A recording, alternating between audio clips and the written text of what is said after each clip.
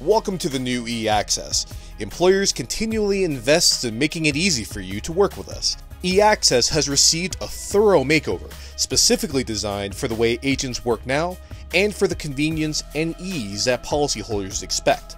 eAccess has all the tools you need in one place with the most popular front and center. Left and right navigation menus of quick links provide easy access to secondary tools dynamically search documents and policies with easy download and email capabilities. While designated for quick and convenient self service, the new eAccess features many streamlined tutorials to quickly get oriented and is still backed by one of the best support teams in the business. Employers is investing in tools that make workers' comp less work. And now to walk you through eAccess and to show how easy it is to use is Keith Goss, Director of Customer Service Center. So once you log into the new eAccess system, you will land on your dashboard page. And as you can see, we have a new look and feel to the dashboard. But I want to draw your attention to particular sections of the dashboard. First of being the left-hand navigation here. So we have all of the sites that you have access to available to you very easily and quickly. And they're sectioned off by sections for e-access, quotes, online premium audit, self-service endorsements, and then we also have a resource section here with easy access to come back to the eAccess dashboard. The middle section, as you know, or as you can see, contains the three primary paths that our customers take based on data. So we have the get a quote, we have the self-service endorsements, and we have the policy search. Below that, we also provide access to agency-level reports, you would be required to select the report type. So if you were agency summary, we would require the selection of the year and the agencies that you want. You have the option to select all agencies associated with your uh, user ID or specific ones. You can also select the, the report format, either PDF or Excel. Once you select that, the system will take a few moments and then you'll be able to bring that up or save it or print it, whatever the case may be, back to the eAccess dashboard. So in terms of the policy search, from here, you can go in and either select the policy, if visible, that you're looking to work with. Uh, I would also note here that these column headers are filterable. So if you'd like to go ahead and filter down based on any of these column types, this is a Google search methodology, and so you can just simply type in some of the data that you're looking to do. If it's policy number that you're working with, great. If it's some other mechanism or some other type of search criteria, you can put that in, and that would narrow down your search to that particular policy. Ahead going in, selecting the policy, and that would land you on your policy summary page, right? Let me go over each of the sections of this page. So here is the policy, the base policy, with a drop-down giving you access to any prior policy periods if, if applicable. As you select the policy period, the information below will change dynamically. Contained within the header here, we have the first name insured and the agency-related information. In this first top section here, we have basic policy level information. But then below that, we also have um, class code and location information. These sections are expandable and collapsible.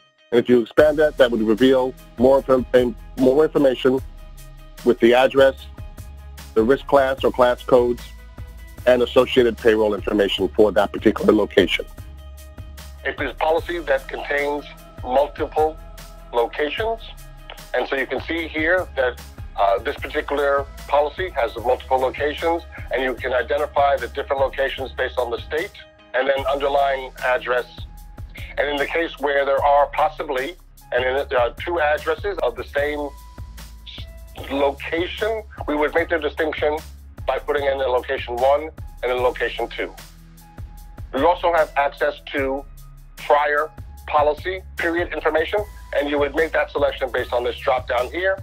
So if you wanted to view information on one of the prior periods, simply make that selection and the uh, change occurs dynamically with the information, and that you're now looking at all information relative to this particular period. Next, we have the Claims tab. And as you see, it dynamically changes the information relative, once again, to this particular policy period. and we show the financial information about the overall policy in terms of medical indemnity, recovery, deductible, total, and claims. And then the section below that where is where we have the claim detail, which gives you specific financials about this particular claim, the claim related information in terms of the injury, and then if payments have been made on that particular claim, we will give you a summary of those payments. Next, we have the report section. Here are the policy level reports. You may select the report that you want to work with, either being claim history or also known as loss run, claim history by location, or a loss trend analysis. As you select your report, you would then select your report format, either being PDF or Excel. If your preference would be PDF, you can hit the download button. In a few moments, the uh, report, you'd be asked to go ahead and save that in a location of your choice on your desktop. And then once that save is, occurs, a, mo- a few moments later, you will get access to that particular document. We also have policy documents available. And again, I want to remind you of the um, policy period drop down here, allowing you to work with documents relative to any particular policy period of your choice. And you can choose actions of either downloading the document, and, uh, uh, either the agent version or the policyholder version. If you were to select the policyholder version, they will present you with a copy of that for you to either print or uh, save to a file for, you know, for reference later. There's a new feature that we have available with the updated e-access, which allows you the opportunity to email it directly from the, the e-access system. So if it were the policyholder, uh, now there is a default the from as being the current logged in user's email address. You have the opportunity to change this. So if you're emailing it to one of your customers, you can change it to your uh, to another email address that they might be more familiar with and recognize, or you can leave it as your default. You would input the email address to which you want it to go to, select email, and moments later you would receive an indication that the email has been sent. Next, we have the billing summary tab that presents basic information about that particular policy period in terms of current amount due, if any past due amount, the date it's due, total amount paid, policy status, and policy balance. We also provide you a brief history of the payments. Next, I want to go over the My Alerts section Payments, So this is where we provide you with, with alerts relative to policy or claims. You can simply click on the number and that would bring you to the alert screen where you would uh, understand what type of alert it is, the alert date, policy name, policy number, and what yeah what that particular alert is about. In this case, this is a cancellation, and therefore you can kind of go in and take a look at this and say, "Up, oh, maybe I need to give this particular customer a call and let them know that they are in jeopardy of being canceled." If you need some more details about that, we have provided a link that would uh, bring you over to the, the policy detail so that you can look for more information maybe go to the billing summary and identify that this is a past due uh, policy, and that would be the underlying reason why this policy potentially is going to be canceled. We also are providing access to a multitude of information. We've made a link here to Evolve, and here you can view all updated information regarding the changes and improvements employers has committed to to provide for our agents to make them more profitable and to make it easier for them to do business with us. So easy that they can do it in their bunny slippers.